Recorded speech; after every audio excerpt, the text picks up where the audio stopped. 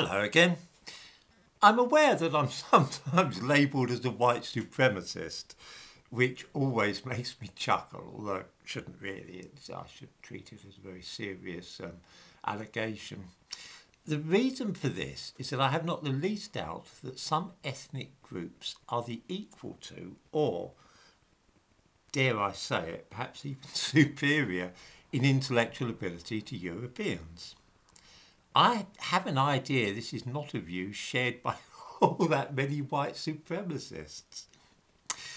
The fact that India, China, Japan, and Israel are all sending up satellites to orbit the Earth, and even putting men into orbit as well, or landing spacecraft on the moon, sending missions to Mars, and so on, without any help from Europe or America, is interesting and perhaps provides a clue about my thinking here. I want to compare today two space programs, one in India and the other in the African country of Zambia.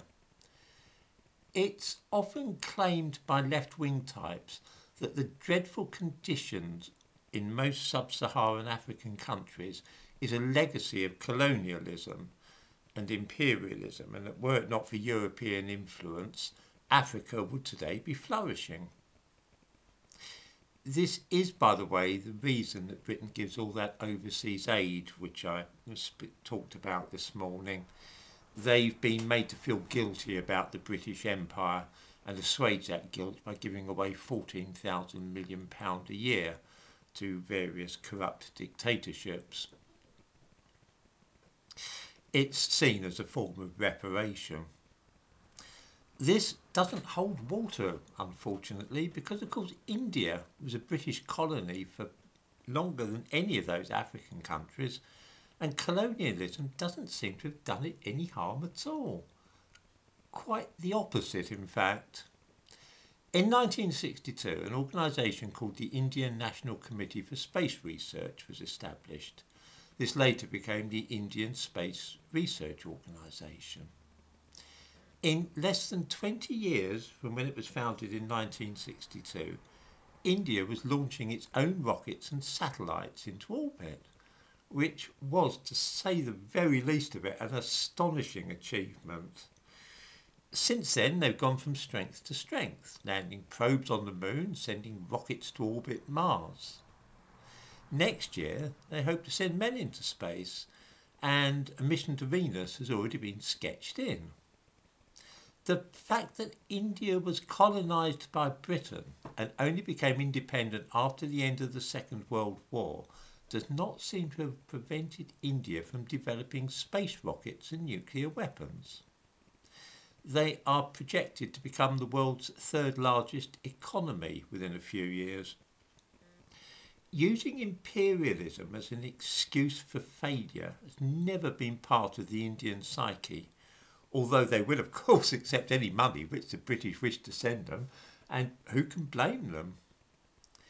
18 months after the Indian space program was set up, which led to such incredible results, Zambia in Africa, which was of course formerly Northern Rhodesia, decided that they too would start their own project to explore space. In the description to this video I give links to a YouTube video about the Zambian space program and also an article about it. There's plenty more on the internet for those who would find it amusing to see about this uh, supposed space program. The aim was to send a 16 year old girl to the moon uh, together with some cats to keep her company. The training for the astronauts, as the man in charge of the program called them, largely consisting in rolling them down hills in old oil drums. Unfortunately, halfway through the training, the teenage girl got pregnant, and half the other would-be astronauts went on a drinking spree and were never seen again. Perhaps they were lucky because the rocket to the moon was to be projected from the Earth by a giant catapult. I'm not making any of this up, by the way. I urge viewers to look into this for themselves. Although this is all very amusing, there's actually a serious side to it. We are constantly urged to feel guilty for the legacy of colonialism and to blame our ancestors for all the ills which Africa and the Caribbean are suffering. This collective guilt is also imposed upon us regarding those of African origin living in Europe and North America. India was under the colonial yoke of Britain for far longer than any African nation, and yet, as soon as the British withdrew from their country, India went it alone with unrivalled success. Indians in Britain and the United States seem able to get by very easily without complaining constantly about racial prejudice or demanding an Indian History Month. Nor do they seem prone to rioting and looting every time an Indian is mistakenly killed by a police officer. Mind you, that might also be because it is exceedingly rare for the average Indian to be found carrying a concealed firearm, stabbing the neighbours, dealing in drugs, or pilfering from shops. Their dealings with the police do tend to be little less frequent than those of other groups, including, incidentally, the majority white population in England and America. I suspect that even the most die-hard racist or white supremacist would agree with me about this. But just to check, let's carry out a little thought experiment. Imagine if you heard on the news tomorrow that North or South Korea had launched a satellite of their own. Would anybody be surprised? What about Taiwan or Singapore? Still not especially surprised? Iran? No, still plausible. Now instead, think how you would react if you heard that Jamaica or the Democratic Republic of the Congo had launched their own rocket carrying a satellite into orbit around the Earth. I think that most viewers would check to make sure that it wasn't April the 1st. Why should we feel this way?